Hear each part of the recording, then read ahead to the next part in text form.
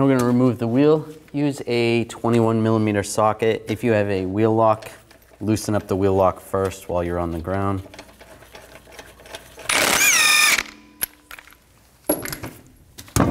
Remove the wheel. Remove the two caliper bolts. Use a 14 millimeter wrench.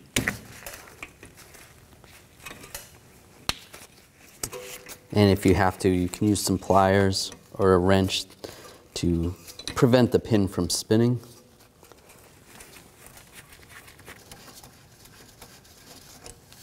Just going to use a screwdriver and just pry out the caliper a little bit. Just compress the piston and then just slide it off. You can use a brake caliper hanger and just find some place to hang it from. Should be good right there. Just make sure there's no tension on the brake hose itself. And take the brake pads off. Now take the caliper bracket off. Use a 17 millimeter socket. Take those two bolts out.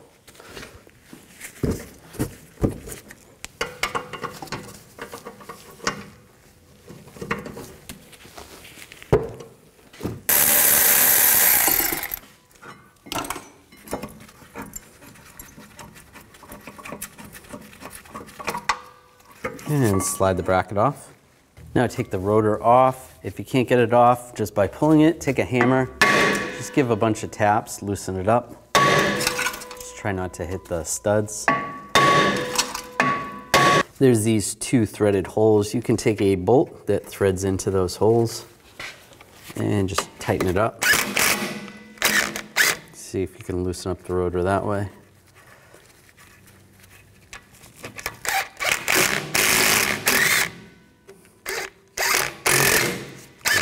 There we go. Slide it off. And just take a wire brush or a die grinder and just grind away some of the rust buildup on the hub surface. You don't want to take off too much material, but just take off some of the rust.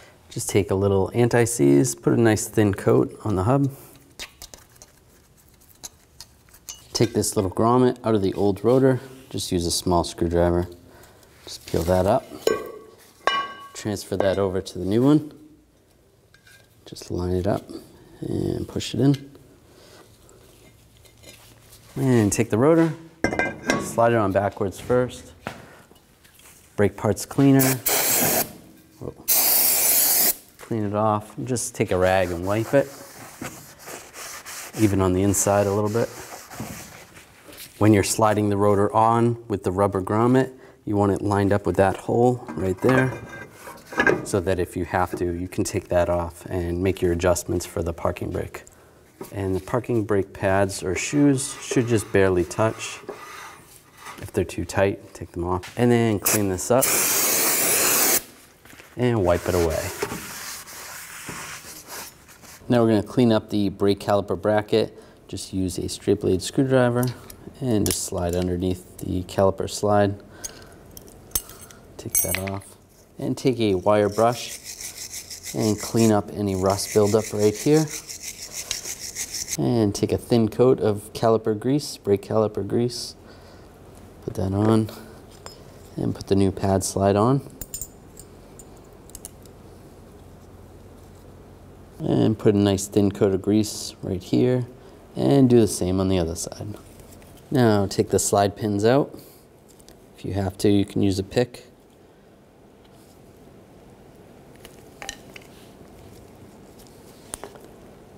And slide that out. Take a little brake parts cleaner. And clean it up. If it's extremely corroded, um, you want to clean in the bore as well, but this one's not too bad. And take some brake caliper grease, grease up the pin.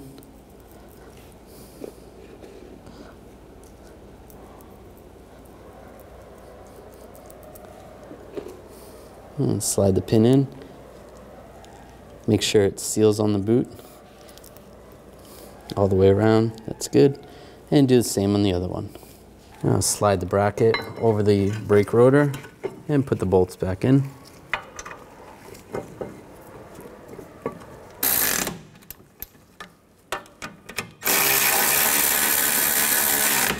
Now torque these bolts to 65 foot-pounds.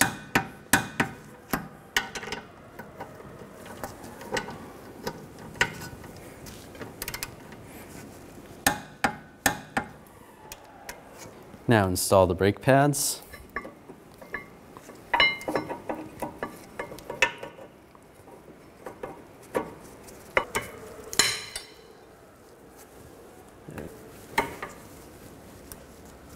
Now take the brake caliper hanger off.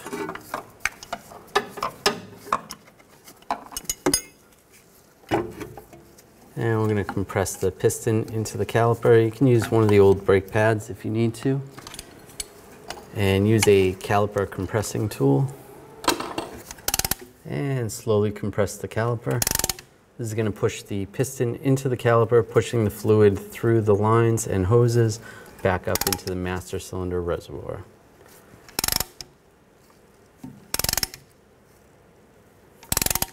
Nice and slow. Now slide the caliper over the brake pads. And put the bolts in.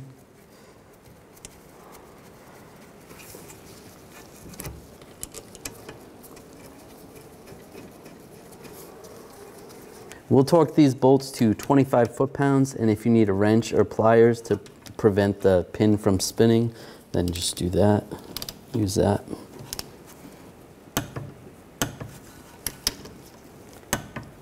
It's good. Now we're going to pump the brake pedal nice and slow. And check the fluid level in the master cylinder reservoir. And if it's low, make sure you top it off. If it's too high, you're going to have to adjust accordingly. Put the wheel up. And put the lug nuts back on.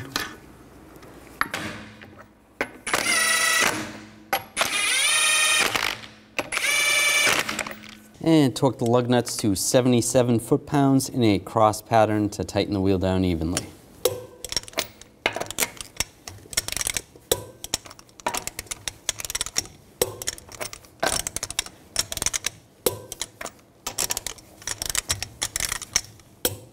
And go back again, just double check.